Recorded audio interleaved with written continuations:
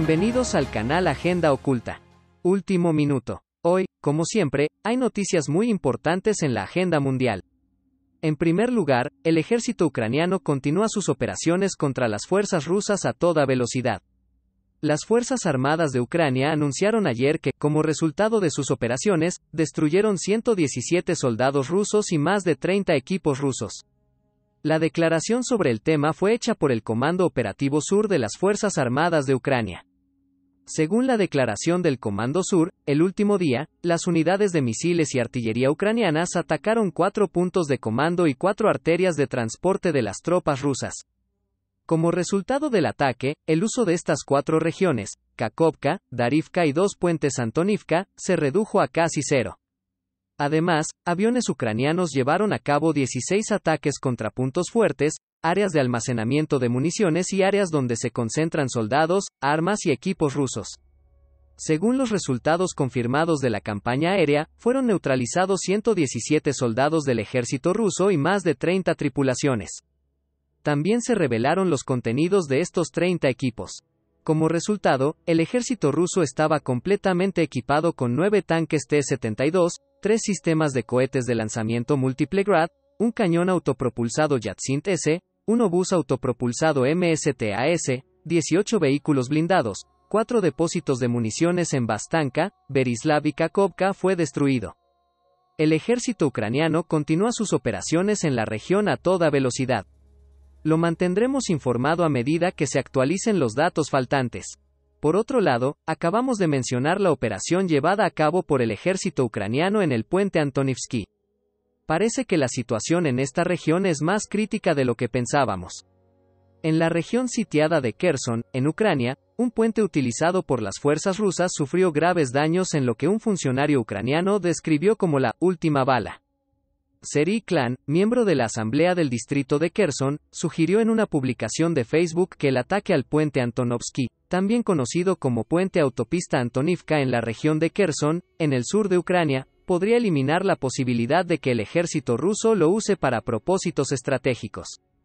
Cruzando el río de Dnieper, el puente es utilizado por Rusia como una ruta de transporte importante para equipos y suministros militares en la región. Ucrania perdió el control del puente el 26 de febrero, solo dos días después del inicio de la guerra. El puente ha sido atacado varias veces por el ejército ucraniano en los últimos meses. Eliminar el uso del puente por parte de Rusia como línea de suministro podría ser fundamental para el éxito de la contraofensiva ucraniana, que comenzó esta semana en Kherson y en otras partes del sur de Ucrania. Continuamos monitoreando esta área cuidadosamente. Continuaremos manteniéndolos informados de los desarrollos. Por otro lado, ahora ha quedado claro que los aviones de combate ucranianos utilizan oficialmente misiles avanzados suministrados por los Estados Unidos contra el ejército ruso. El ejército ucraniano ha compartido videos en las redes sociales que muestran el lanzamiento de poderosos misiles antirradar suministrados por Estados Unidos desde un avión de combate durante la guerra. Las imágenes del avión de combate MiG-29 Fulcrum de diseño ruso perteneciente a la Fuerza Aérea Ucraniana, publicadas anoche, mostraron que el avión estaba lanzando a GM-88 o HARM ARMS, misiles antirradiación de alta velocidad. En primer lugar, me gustaría señalar que no podemos publicar el video debido a las políticas. Según el sitio web de Aviación Militar Internacional de Aviationist, el incidente demostró que los expertos militares ucranianos pudieron superar importantes desafíos tecnológicos al instalar un sistema de armas occidental en un caza de fabricación rusa. Los misiles HARM son un sistema desarrollado principalmente para apuntar a los sistemas de radar enemigos y también son utilizados de manera efectiva por el ejército de los Estados Unidos. Esta arma fue parte del último paquete de ayuda militar de 775 millones de dólares de la administración de Biden a Ucrania. Las imágenes capturadas por una cámara GoPro en la cabina del MiG-29 mostraron el avión de combate despegando de una base aérea con misiles colocados debajo de sus alas.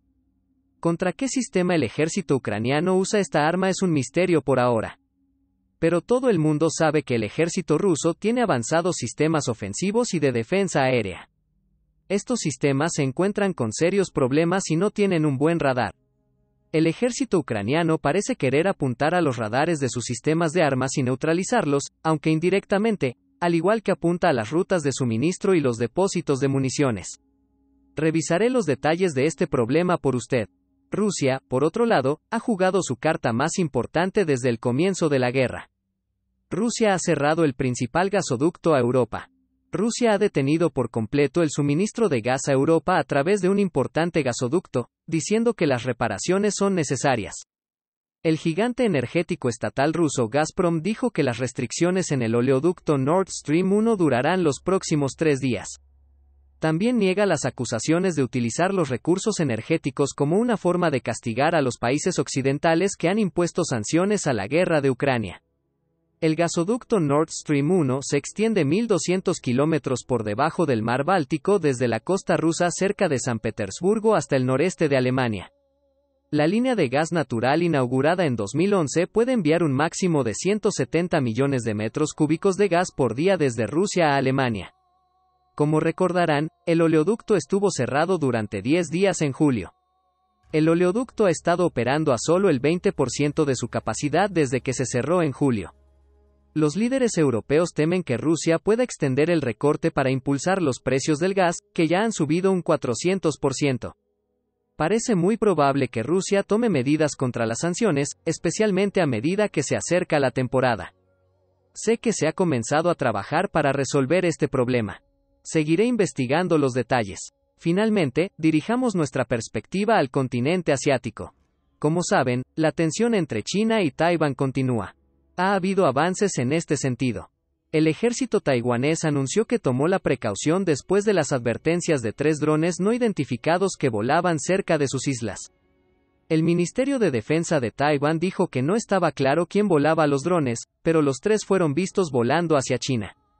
Me gustaría recordarles que Taipei se ha estado quejando de los drones chinos que vuelan cerca de los islotes controlados por Taiwán frente a las costas de China en las últimas semanas.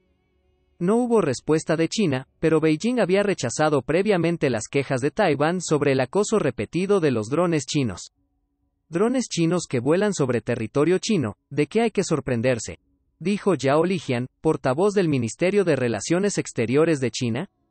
Dijo, el Ministerio de Relaciones Exteriores de Taiwán expresó su indignación por los comentarios y dijo que las personas no invitadas se llaman ladrones.